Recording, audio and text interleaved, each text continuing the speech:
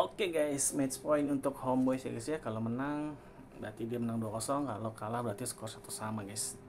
Langsung aja kita tonton let's go. Apakah S2G bisa menyamakan kedudukan? Kita akan saksikan bersama-sama. I think that Matilda is going to counter uh, S2G's aggressive approach just because anytime they that they try to engage with that Nana Steed, ya, I guys, think that uh, they'd be able to, you know, like passively back out. Uh, so we'll see how Homeboy responds to that. This is the second time I've seen Liam Ward come out and use well. I'm thinking I don't I don't know if you've seen it anywhere else besides our Oke, games kita last akan night. masuk sesaat lagi wasn't so great a performance by the Leomord last time, but we're gonna see maybe some redemption on, on this Euro. Yeah, but we're gonna be getting into Group B, Stage Two here, and then we're gonna be getting into Round Two, Homeboys versus Oke, S2G, babak kedua, guys. and it is match point into Homeboys' favor here. Soren already once again with the mind games. Mm, Nice pressure already on the mid lane a little bit. Maybe it proc gonna proc the passive from the Aurora low HP and basic attack gonna proc it no passive Iya, for tolong. Quite a lot of time and now it opens a window to pressure mid lane. Here Martis playing super aggressively. That's exactly what he should do even though uh, Limord is actually level 4 so might they might win for the counter attack just like Martis level 3 yet but no Oke, di sini Son memakai Matilda Cibi. Yeah, Wah, I Cibi mean, ini we could see that setahu ayah dia uh, a kuat dengan Martis setelah masuk global they apa ya ya? and Pokoknya salah satu top Malaysia juga dia and ya. EXP, Ada Kari, ada Nana. Udil I sempat see an lagi engage lagi here. Xbox melawan not Hyper Leo Mort. it. Ada Aurora. Claude, Yeah, that's pretty good aggression. That's Arlot might, sama uh, Ruby. Wah, ini sih crowd controlnya 40 lumayan ya. Ruby, Arlot, ada siapa? Aurora juga. uh,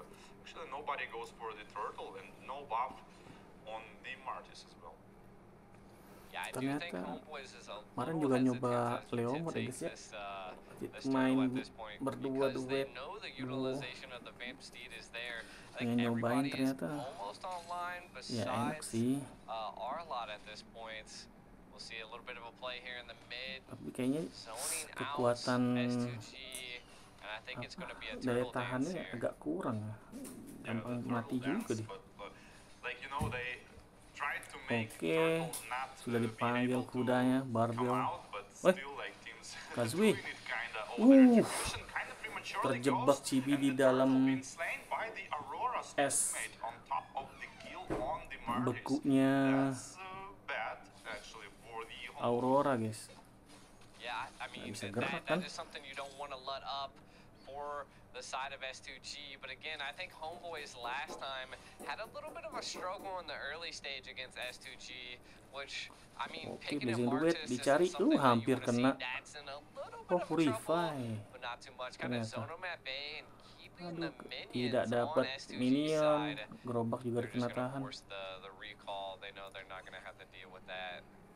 Yeah, that's a S2G super good lane control by the Oh, bot flicker. on top lane. It is, it is. I mean, again, Aurora I think flicker. uh, Carry struggles a little bit into the early game, uh, but I think that's what they picked up the Aurora marches for. They sekarang wanted to utilize cepet that banget. so they could, you know, have a little bit of that early game control and apply pressure. Uh, but look at Zorn just giving that vision.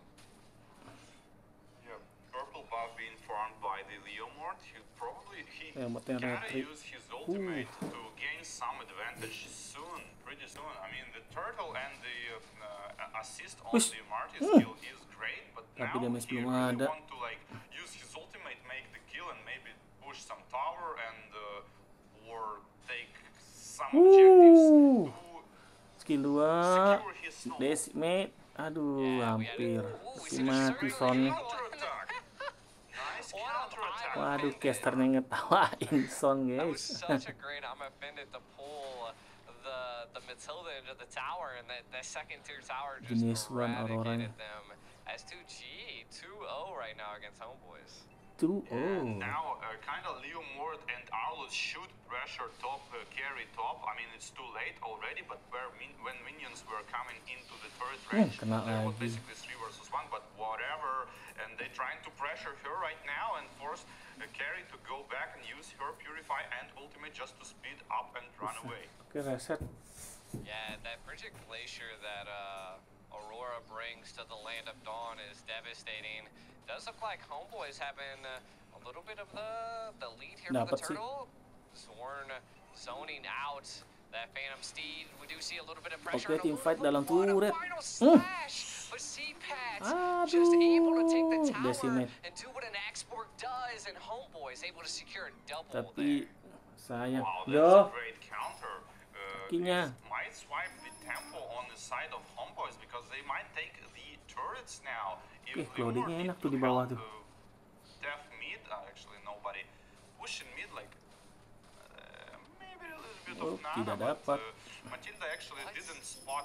Leomord farming blue skor jadi And, 2-3. uh, No towers taken, Gol unggul okay, they taken 400 it slow. S2G. Wih, Yeah, I mean, I was Okay, surprised. Retri. I suspected they were going to definitely take that uh, that tower there. Retri forced out by Zorn there. Might see a little bit of another engage here in mid. They're filling it out. I'm, I'm super surprised that Homeboys gampang wasn't juga able to ini take sih. that tower in the top lane. I think it was just, I, I- to be honest, I'm not quite sure why they didn't. Yeah, they should because they're not prioritizing the map control yet, and the map control goes to S2G at this point for a little bit, but nobody utilizes these uh, opportunities. Like I said, on uh. the top lane, they should go for the carry just with the Nana minion udah agak waves lumayan and try to terasa. like three versus one. It was a good opportunity to kill carry and not let uh, her farm the minion wave and potentially trying to make some Oke, pressure tapi on masih the unggul turret. si S2G. And it would allow Turret atas juga dia tradingin juga. turtle, really, but uh, like. Yeah, I mean, we're, we're not seeing too much of a Ini scaling foto son by Chibi at this point, but Flash of hey. Uh, they were able to actually respond and get a turret in the Brute Force bottom lane. Chibi-nya. And I, I think that's good, right? The homeboys trying to clap back. And again, this is a, we're, we're kind of seeing exactly what we seen last game. Even though S2G is in the lead in towers, homeboys still able to keep that economic lead. uh, or just. Equal presence here. Final slash out on a Zorn. Baits that out a little early. Do see the Phantom Steed coming in on the kena. turtle. The I'm offended onto Chibi. Can they keep him Uh, controlled? rata Glacier langsung. comes down. able to secure the kill. Uh, kencang And then larinya, double kill, to Leomordnya. secure the turtle and then a double kill Dapat by mid S2G. langsung. Conceal play. They want that Nana. Yeah, that's a disastrous situation from the homeboys because now the, uh, S2G gonna take a lot of towers and uh, proceed with the map control on the Lord and potentially already need to come back. 3.5k goal.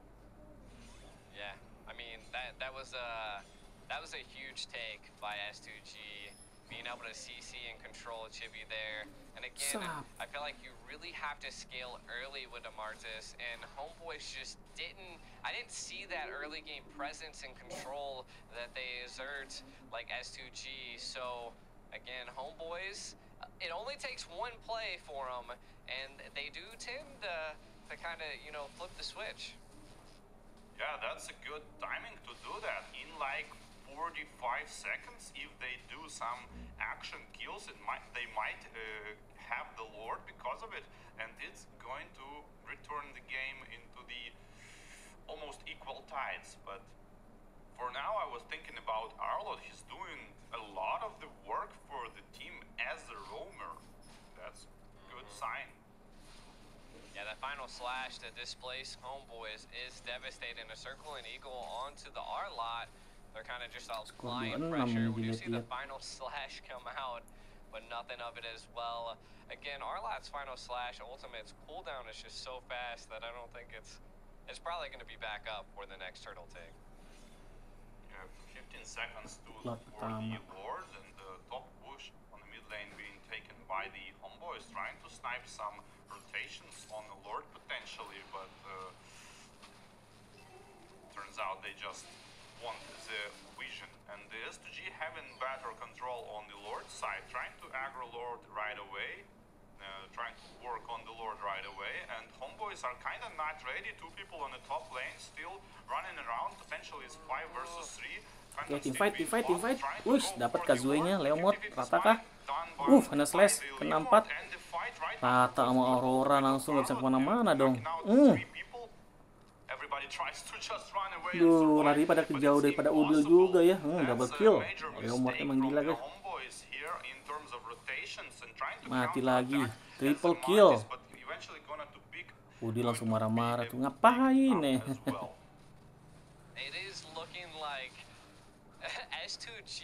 Mengamuk ya guys ya S2G di game kedua ternyata.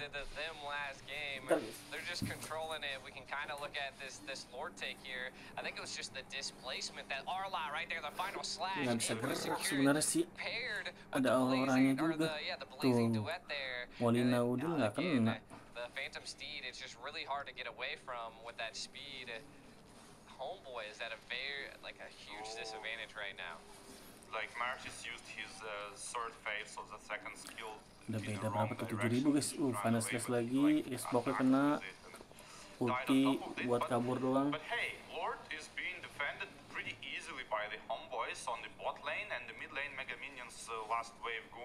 Kena tarik Chibi. If you S2G really want to pressure that turret, that's exactly what Claude is doing here. Need to go for extra lane, Sekarang kita lihat ya guys ya S2G kekuatan sebenarnya dari Homeboys Gimana dia balikin keadaan dari pressure tinggi seperti ini kan, dari keadaan kalah. Bisa balikin nggak pressure katanya? Wih, mati tuh. Ah. uh, Baru ya bilang balikin keadaan. Aduh, double kill. Double uh, kill. Decimate. Decimate uh, dulu lah. Aduh. sayang. Heis.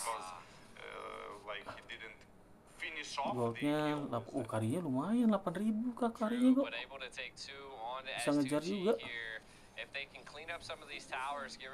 Oke, coba dapetin mid. Awas are slash. Baru dibilang A lot of final the pressure slash. Awas. Hmm. Eh, karinya udah lumayan sih. Hmm. Oh. Hampir to Alotnya hampir or uh, to pack up as S2G is on the Son. hunt. Uh, hampir. That's a close one, but uh, Matilda Close uses one. her jump to run away from the unbanded. Yeah, I mean, homeboys, they, they took that mid tower. I like that because that allows them uh, room Agak to breathe. bernapas ya. Dapat S2G turret won't be mid. able to actively pass uh, back Karinya, up and brute force, you know, thunder have belt. a, a, de a defensive lumayan area sih to physicalnya. go from. So kind of looking at some of the Perlu items. WON I sih. think carry. WON, about one item behind the Claude at this point. Mantap, Uh, beli nope, just actually DHS picked up karinya. Demon Hunter Sword, which I think that's what they might beli need WON here. They'll go, go against the Phantom Wih, Steed. Oh my mati. Uh, kena ternyata. Claude-nya sama Udil. Of Waduh. Apakah bisa balik keadaan ini?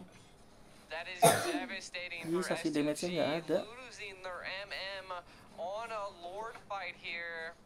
This is going to be tough for them to, to Wah, take. mati Lunarnya. Dikejar. Mati Auroranya. Pasifnya dulu, trigger. to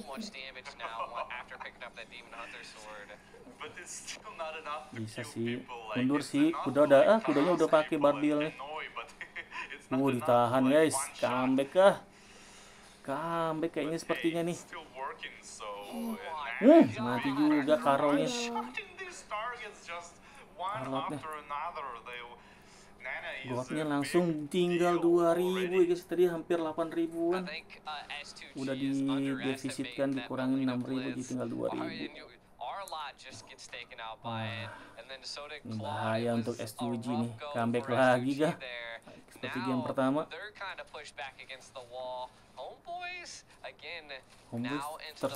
Things. Ya Homeboys ter seperti Yeah, and telat panas ya going guys ya.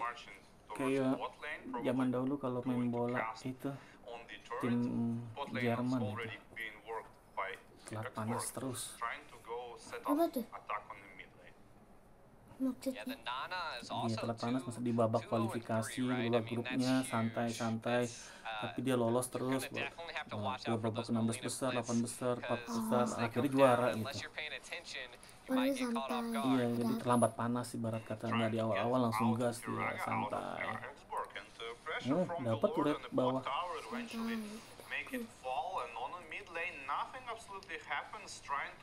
Udah lumayan ini. Udah unggul lagi gun goldnya. Continue this siege of these tier 3 turrets. Matilda trying to even more spam more TPs to distract the opponent. Second skill Hmm, jump right aduh, into nggak dapet tower dia lagi. range, trying to Bikin work Molina. on the turret. Here, Oh, Carry Les. Aduh, sepatu masih bisa ulti mundur. Pas banget.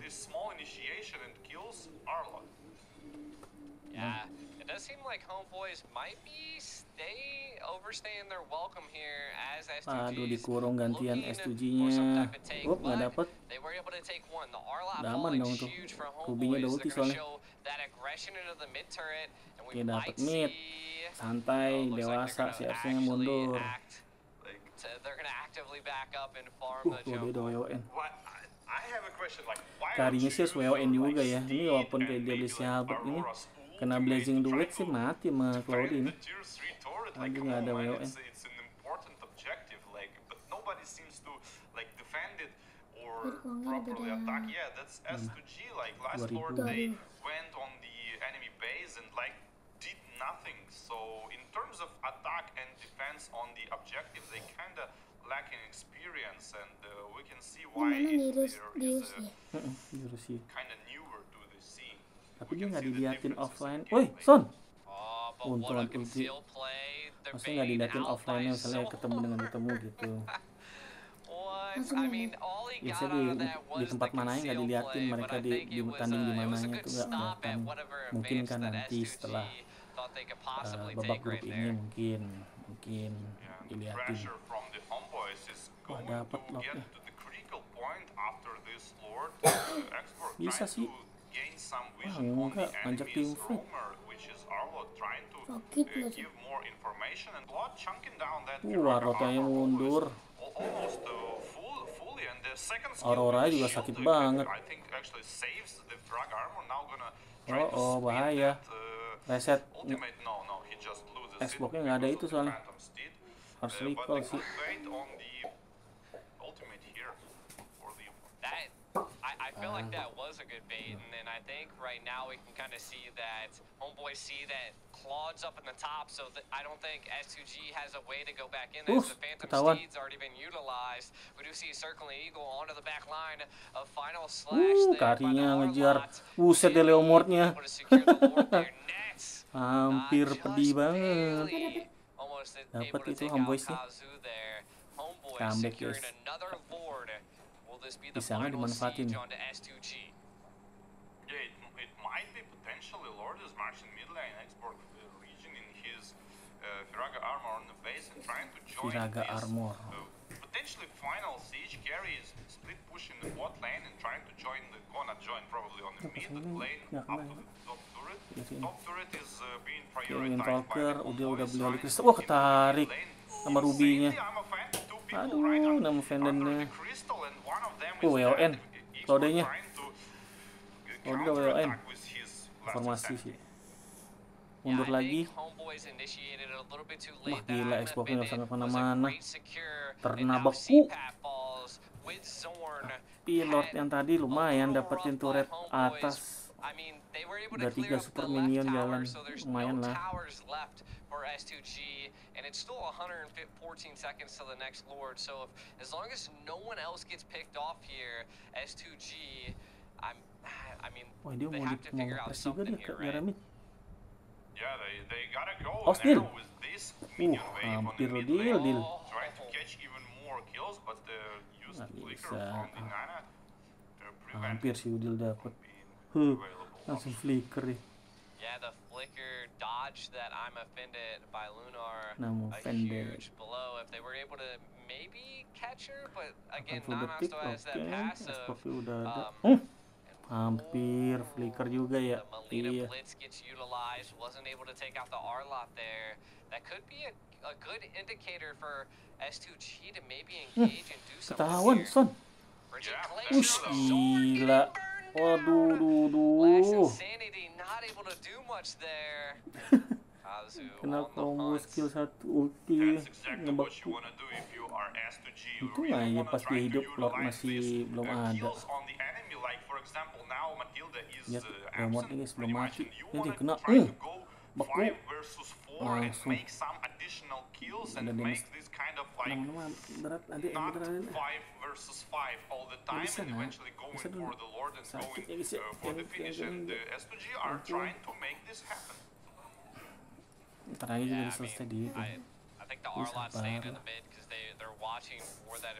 Oke lunarnya Oke mancing-mancing. Weh di atas minionnya gede tuh. Tuh nggak dikasih balik loh. Nggak dikasih balik loh. Nggak kasih balik loh. Ayo lo, nggak in dikasih balik S2G's loh. Nggak dikasih balik loh. Untung aja lo. Hampir end. Uh, dikit lagi end Hampir minions end already. dengan minion ya guys ya That's about the Winions almost taking out S2G at this point. Makro Uh, playnya again, I, I dimainin think dari that itu was nggak a, dikasih a, balik a point that Homeboys needed to take advantage of, and we can kind of see that, right? They're clearing the, the right lane. They're going to utilize the Matilda to then have a little bit of a go here. Maybe maybe the stack of the minions on the bottom might be able to uh, get them, but it looks like I think they're going to send Claude to stop that right lane, which I Oh don't kalau know dia if udah it's a great ke bawah dulu decision. deh Yeah, and the minion waves are pushing themselves on their own because there are no turrets already, and the 20 minions, min, uh, minions are really, really strong, and that's exactly what you should do, utilizing the advantage of having your own tier 3 to inhibitors, basically, and the enemy is not. Yeah, again, Homeboys playing decently passive here. Simpat Wih, utilizing that last sakit insanity. We auroranya. a suppression onto Hmm. ah, passive flicker. Oke. the Hmm, ini dia. We Double kill. Hmm, nggak mana-mana. Eh, ke mana blazing duetnya? Yang lihat, yang utilized. lihat si Gibun. Aduh, sayang sekali ya guys ya. Nobody wanna just go, Tim fight like, dimenangkan. gotta- Oke dah, soundnya tuh dari more, tuh. guys. You gotta squeeze more. there are low HP, it's potentially 5 versus 3 and low HP Claw is Lima versus tiga. uh, Sepakai beli Espin One. Wah, apakah Leomord mati dan N guys? Leomord belum mati tuh. Oh, WON. WON Cloud. Hmm. Hmm. Mati juga immortalnya. Hmm, N guys ya Udil nge-enin Nahana nge-enin turret ya guys ya. Think try untuk point they were S2G just guys ya. Oke guys, selamat untuk Homeboys yang menang di game kedua. Untuk Udil berarti membawa timnya menang 2-0 atas S2G walaupun berbau-bau comeback ya guys ya game kedua. Oke guys, jangan lupa like, comment, share, dan subscribe ya. Dadah.